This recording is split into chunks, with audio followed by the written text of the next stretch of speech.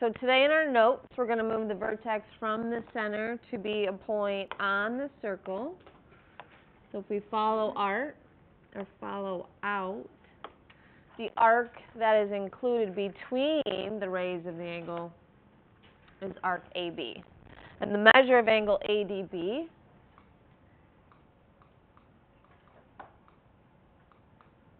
is half the measure of arc AB. Or you can say that the arc, so the measure of AB, is 2 times the measure of angle ADB.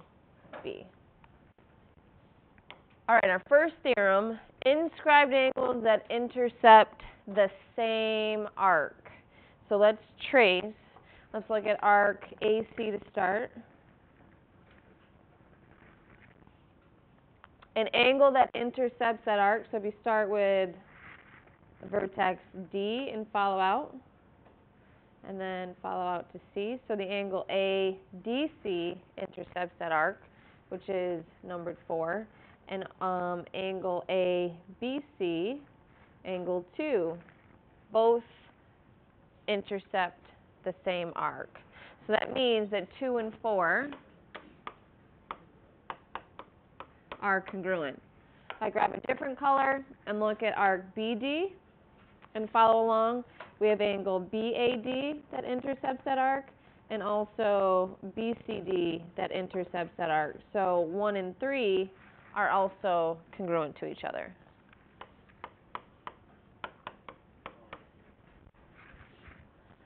The next theorem, an inscribed angle in a semicircle. Well, a semicircle measures how many degrees? So here's 180 on that side, and then it's actually within the 180 degrees on this side. But if I get rid of that arc and so this angle is half of 180. So an inscribed angle in a semicircle creates a right triangle.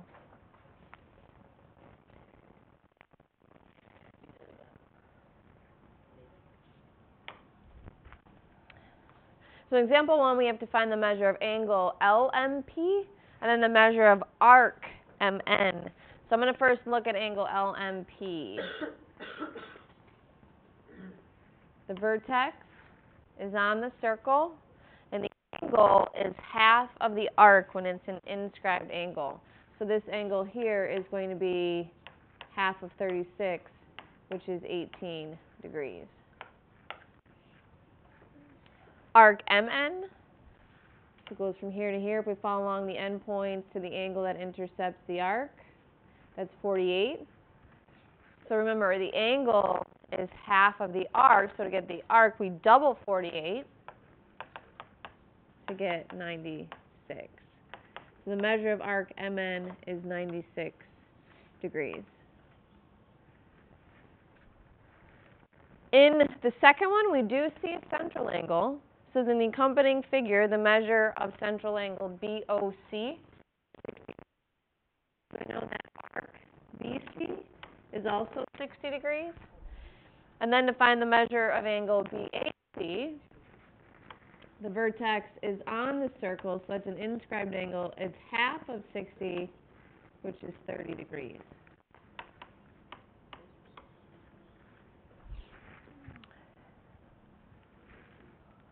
And the last one, find the value of x and y. Here we have a diameter, which divides the circle into two semicircles, which is each 180 degrees. So if this arc is 120, then this arc here would be 60.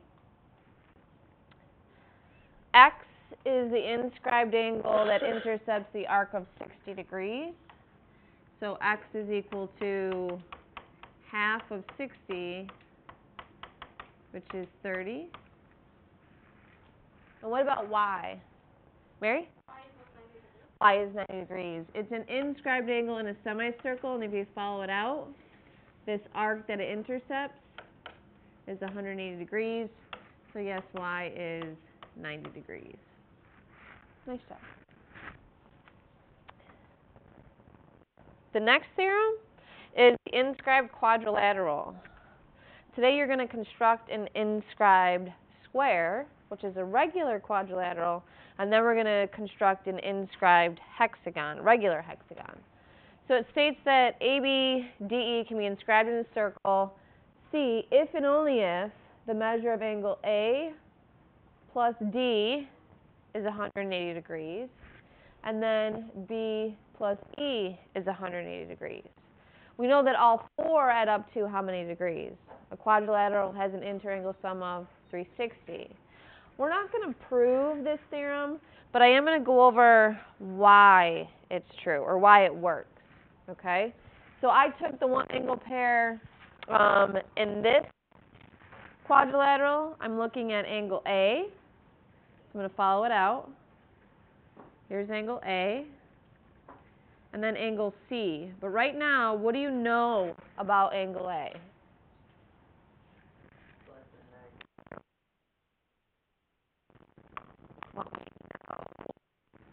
About angle A. I can't say it's greater than or less than some measurement right now because nothing ever is drawn to scale. But based on the picture and today's theorem, the vertex is on the circle, so it's half of what arc? We've got to go from this endpoint of the angle or the ray, which intercepts a CD. I'm sorry, that's a B. So it's one half the measure of arc BC, right? I'm going to do the same thing and follow out for angle C. So angle C intercepts the circle at B, and then following along here, D. So tracing from B, A to D. We know that angle C is how much of arc BAD. It's another inscribed angle, so the measure of angle C is one half the measure of BCD.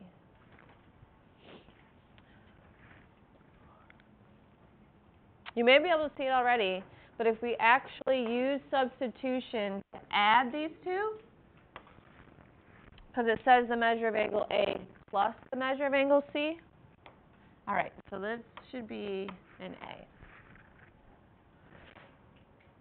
All right, so using substitution, if I want to add the measure of angle A plus the measure of angle C, so based on what's above, the measure of angle A plus the measure of angle C equals 1 half the measure of arc BCD plus 1 half the measure of arc BAD by substitution.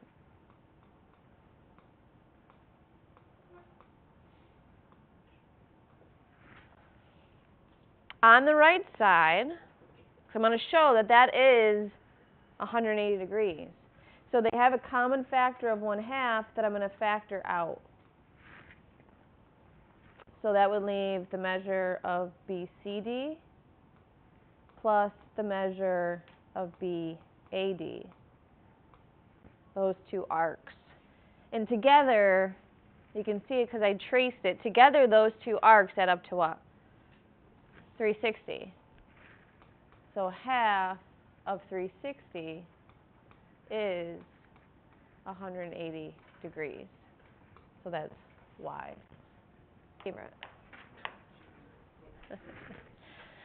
With the inscribed quadrilateral in the circle in number four, uh, I need to change it because you don't need to use the theorem here because the algebra or all of the expressions inside include the same variable.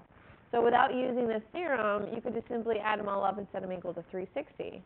So I should change this to y and 2y. So you're forced when you solve for x. Do you want to do it that way? Okay. So now, instead of looking at a system, we know that what's true about opposite angles w and y. They're supplementary. So 2x plus 4 plus x minus 4 equals 180 degrees. What do you get when you combine the like terms on the left side? 3x equals 180 divided by 3, and x is 60. And then for the others, um, 2y plus y equals 180, 3y equals 180, and y is also 60.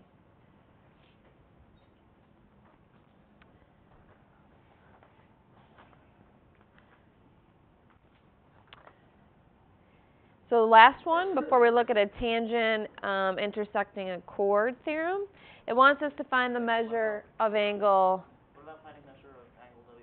Oh, yeah, we can plug it back in. When I said we should change um, change this to x and y's, I was changing the directions to solve for x and y. You can go back and plug it in. Um, but me mentioning that's what I wanted to do, you guys were like, all right, let's do it. So we left it that way. Number five, what is the measure of angle BAC? So let's highlight that angle. BAC is right here.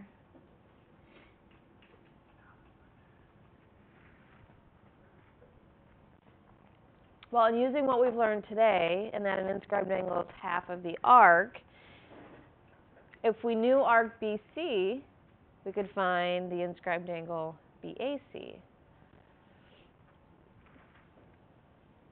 Using the measurements within the figure, we have a pair of vertical angles right here. So this angle is 101. I'm going to leave the degree symbol out since there's not much room. If we can find this angle right here, instead of finding arc BC, we can just use the interior angle sum of a triangle. Is there any way to find angle ABD?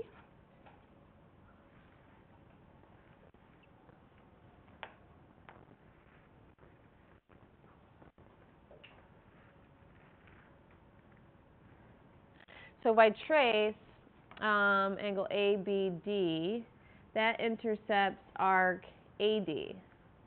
And I don't know what AD is. Aiden? 23. What's 23? Arc AD or angle ABD?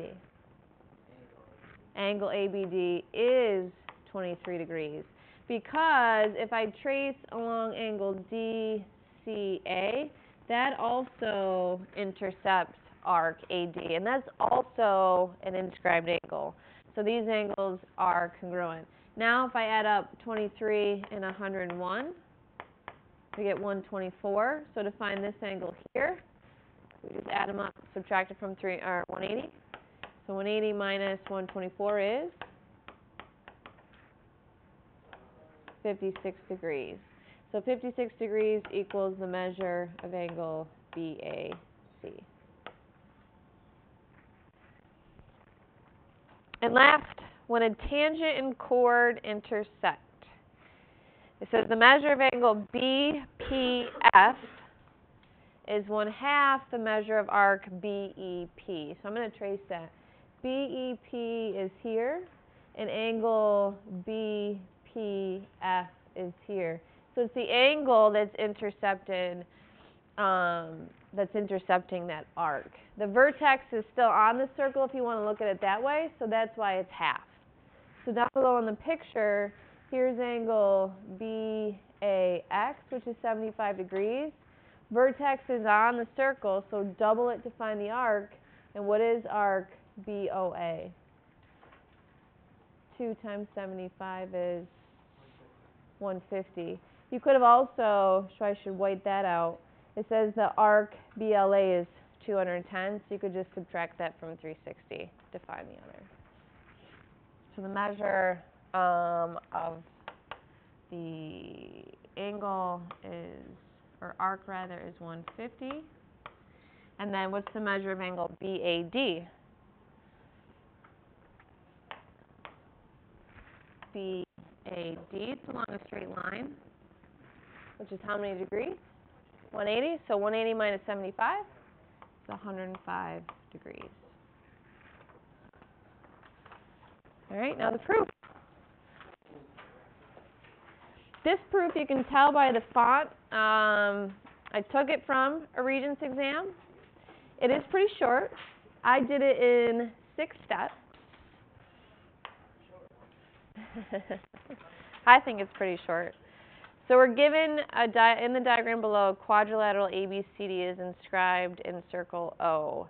It says that AB or chord AB is parallel to DC, so that means quadrilateral ABCD is a trapezoid.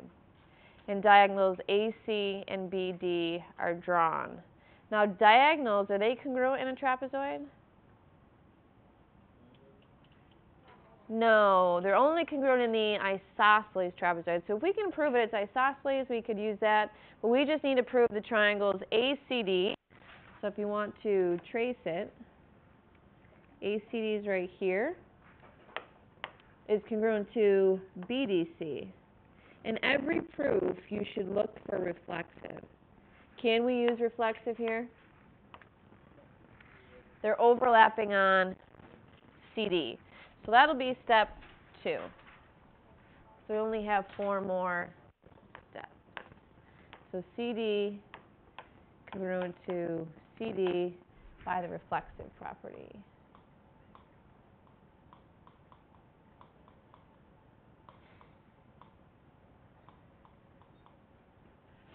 And then let's go by each given statement in the, the givens. So let's look at AB parallel to CD.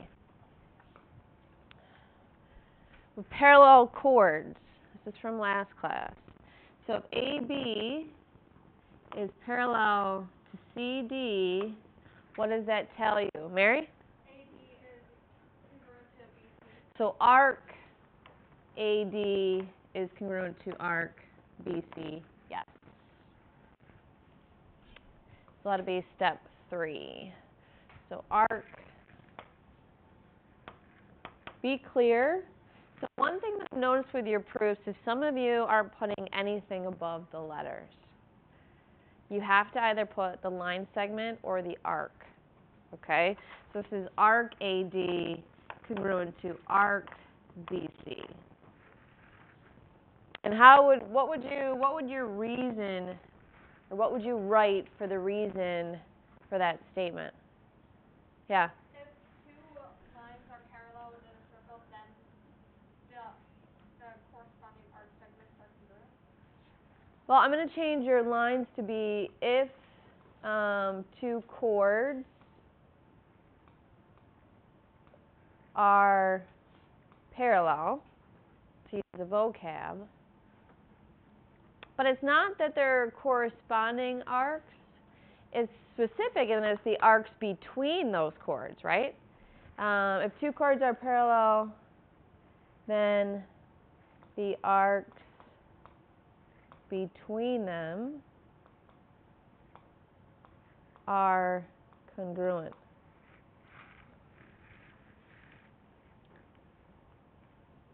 And then we have diagonals AC and BD.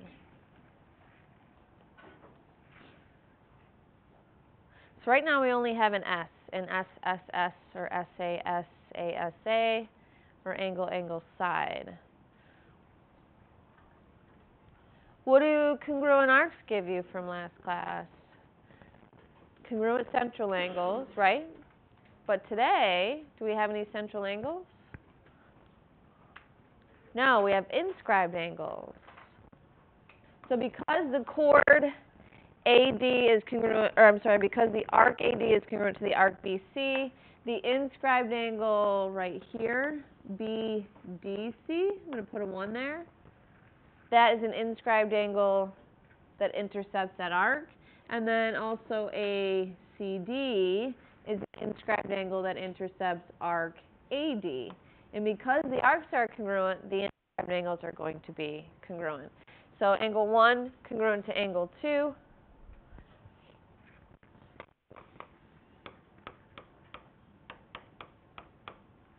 Because inscribed angles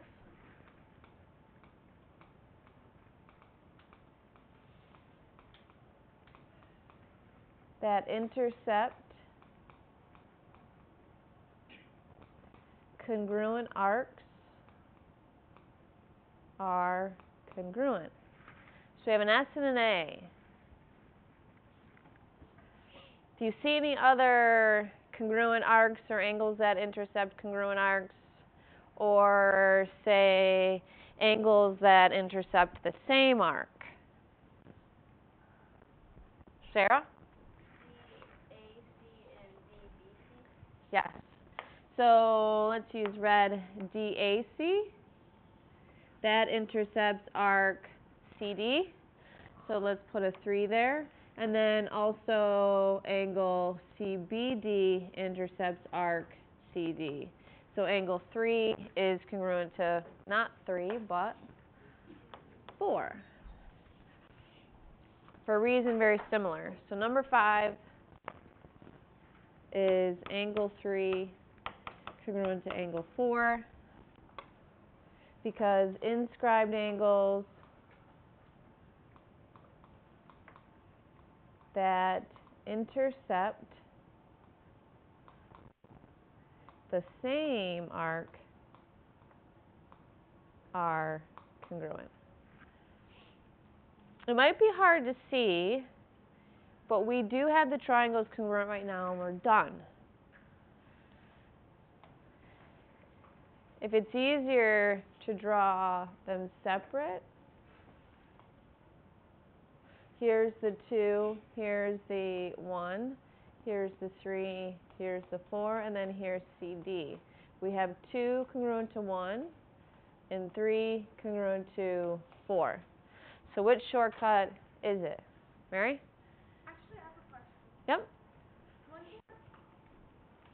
The two triangles are congruent by angle, angle, side.